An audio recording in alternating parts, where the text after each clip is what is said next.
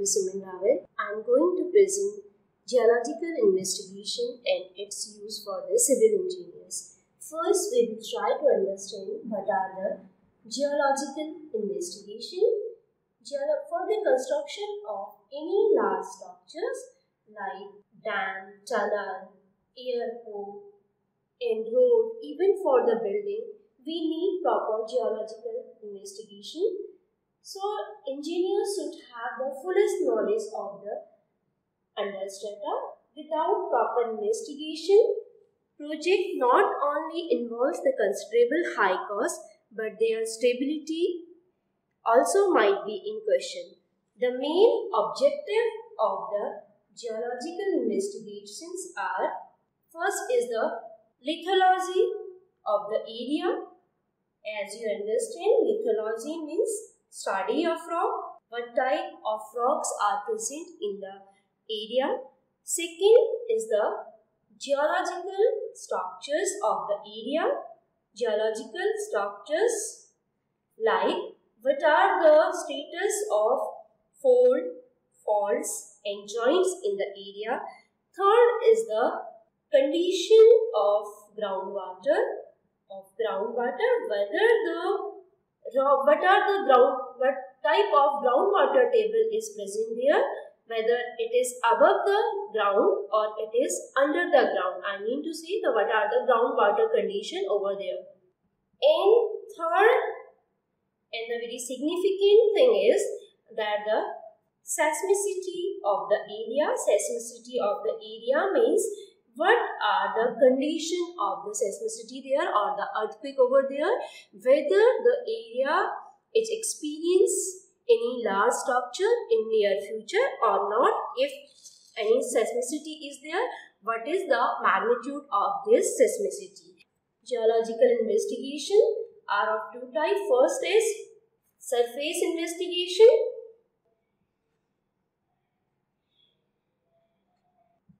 And Second is subsurface investigation.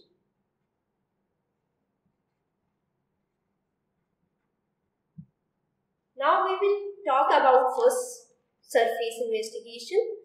Surface investigation. It includes first the preparation of geological map as uh, we drawn in the uh, practical session that is the cross section of the area with the help of the already map prepared by the Geological Survey of India and the Survey of the India. This will give the idea about what is the elevation of the area, elevation, what is the topography of the area. Second is the aerial survey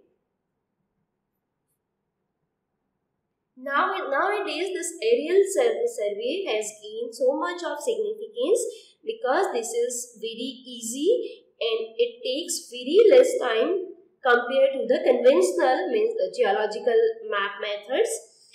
It includes the satellite imageries and aerial photographs. Satellite imageries are of very significant. These are clicked by the many satellite waves which are working continuously in our atmosphere. This gives, if the satellite imageries correctly, correctly interpreted, this gives a very important information about the ground data. Even that can give us the indication about the subsurface structures also. Now we will discuss about the hydrological survey, hydrological survey or the groundwater condition.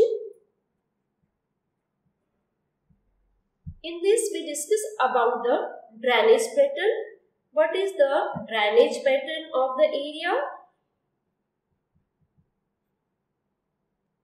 Location of spring in the area of spring or what we can say that is the waterfall in the area location of well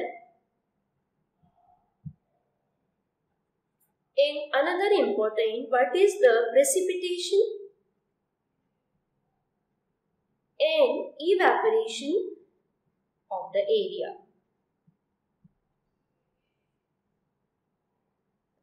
After the surface investigation, subsurface investigation is also important because it gives the details what is under the subsurface or which is not exposed to us. This subsurface investigation subsurface investigation it is also having two methods. First is direct method and second is indirect method. First direct method includes trial trench, trial pits and core logs which is all sometime also known as bore hole data. In the indirect method, the main two methods are the electric conductivity method and seismic methods. Electric conductivity method is mainly useful for the rocks or for the metal which are the good conductor or are the bad conductor of the electricity. In seismic reflection methods is used for the where our rocks or our structure or our ore body have the very high depth. This method, seismic reflection method, is mainly used in the oil exploration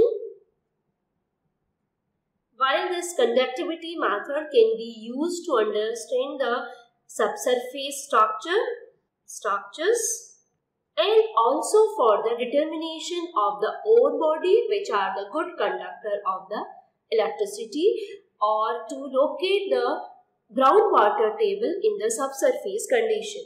Now the most important direct method is the borehole data or the core log now I am going to discuss about the borehole data. A borehole into the surface of the earth is drilled up to the required depth.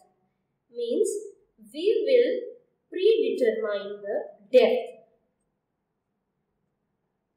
Using the suitable techniques, Soil and rock samples are obtained from the ground below. As the drilling progress, the observed samples are summarized in the form of a chart which is commonly known as the core log. When a core log from a few locations from the same area is studied, collected and interpreted properly, very important structures features of the lie, uh, of the rock like dip and strike, repetition or the omission of the strata and thickness of the each layer can be calculated very easily. If we will drill inside the earth, we may get one such type of core logs. Deter we have the predetermined depth That means every machine has the some capacity or it can excavate up to the like 3 meters or 1.5 meters or 2 meters or so on. So we may get a core of log which looks like this like it may be clay soil then second portion may be sandy soil and then it may be a sandstone which is friable sandstone. It is it is not very sound enough friable sandstone. Then I may have limestone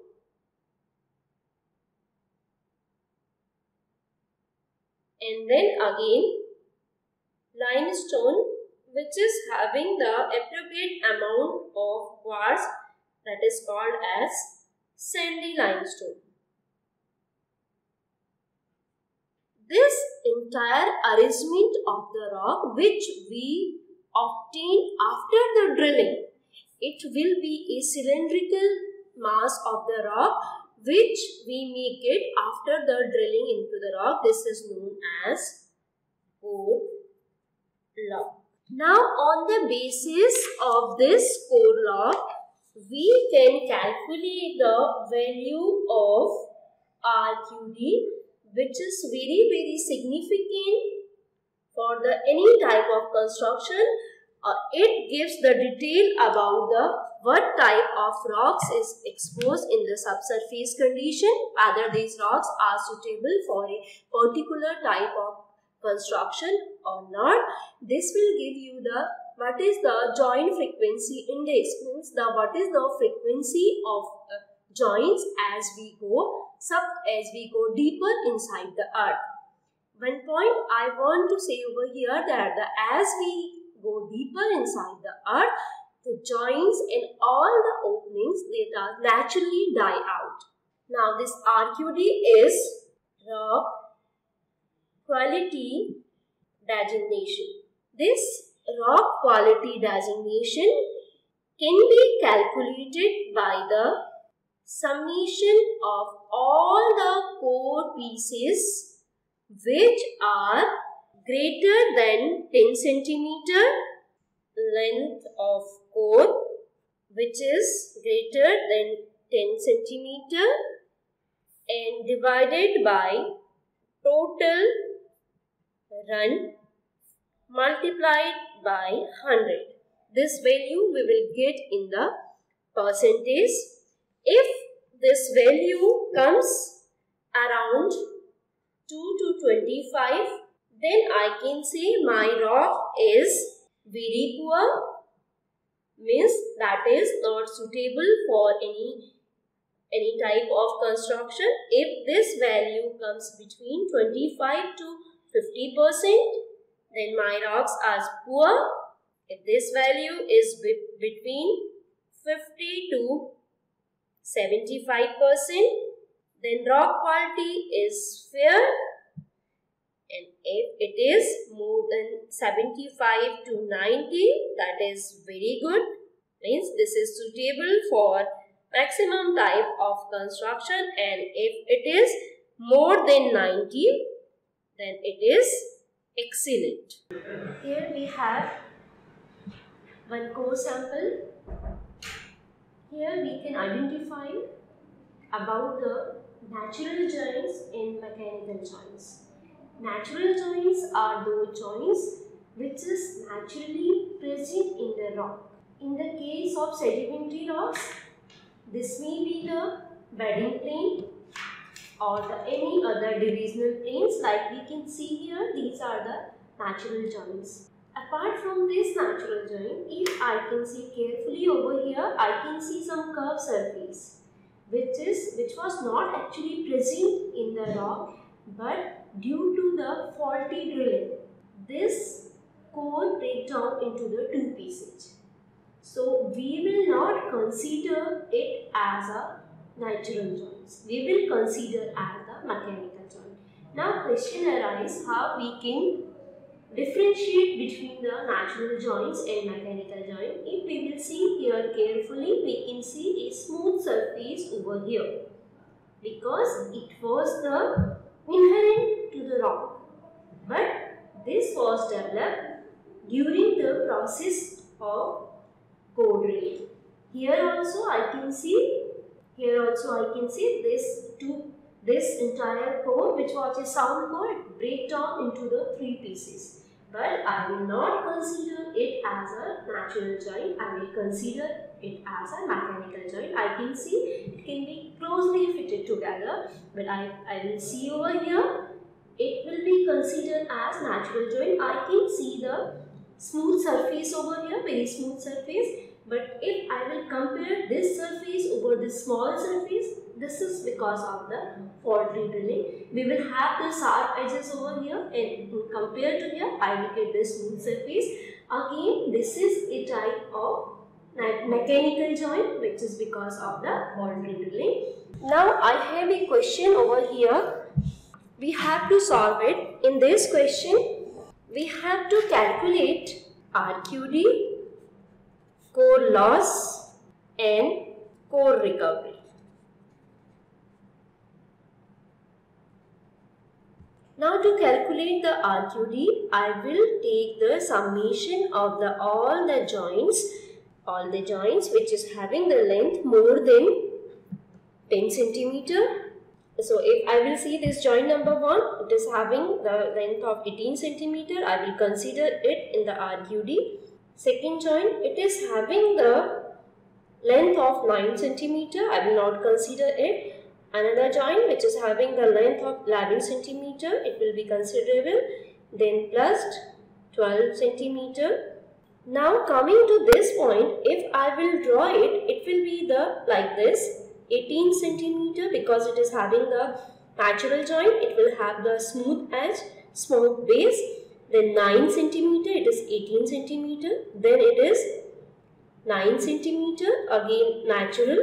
Then 11 centimeter again natural then 12 again natural then 5 centimeter which is having a mechanical joint that means it break down because of the faulty drilling not because of the inherent defect in the rock it is 5 centimeter it is 7 centimeter. So now instead of taking it as a different part, I will consider it as a 1. So it will become 12 centimeter. Now again it is considerable over here. I better I can write here 5 plus 7. Then 30 centimeter natural. It is also considerable. Then 8 centimeter is considerable. 8 centimeter I will not consider it. Then 20 centimeter having the natural base 20 centimeter I will consider this. Then 25 centimeter considerable. Then 5 centimeter non-considerable then 2 centimeter with mechanical base then 15 centimeter with mechanical base again. It will be like this. Then 10 centimeter with natural. We have to account like from 2 M, 15M, and 10N. We have to start counting until unless we will get the natural joint at the base. Now I will consider all this part as a 2 centimeter, 15 and 10 together. That means 27 centimeter. So it is also considerable then 10 centimeter, then 6 centimeter, 6 natural but not considerable, 8 natural but not considerable, 4 natural not considerable. Now this is plus 30 plus 20 plus 25 then 27. Now uh, in question paper,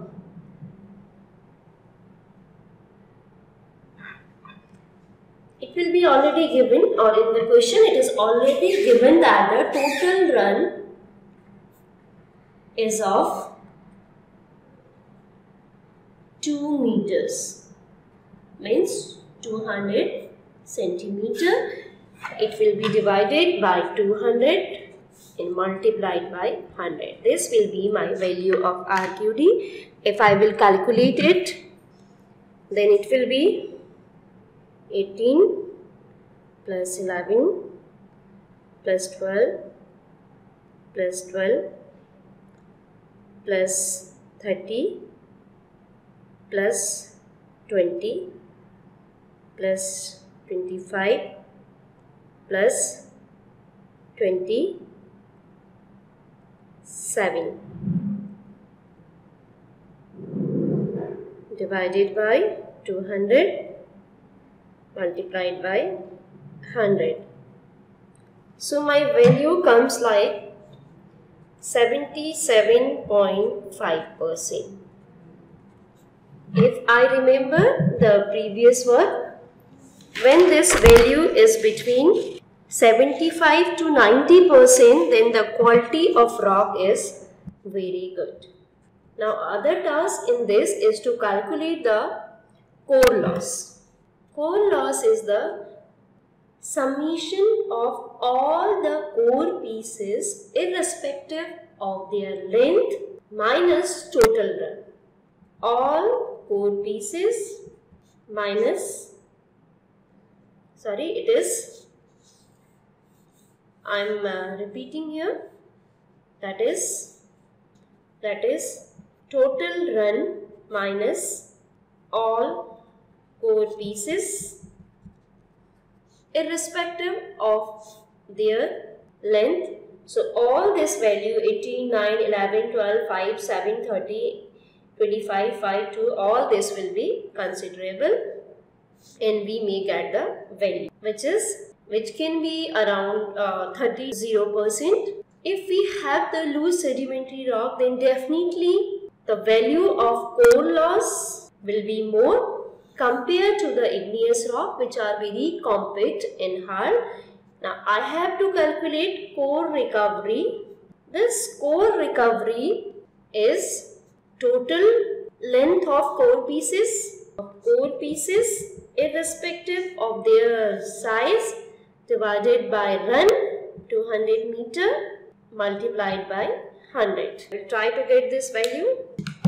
That is 18 it is run is it is 195 so my core loss is of 5 centimeter and it will be 195 divided by 200 multiplied by 100 it will be here the my core recovery is 97.5 percent which is a which is the indicator of a good rock type for any type of construction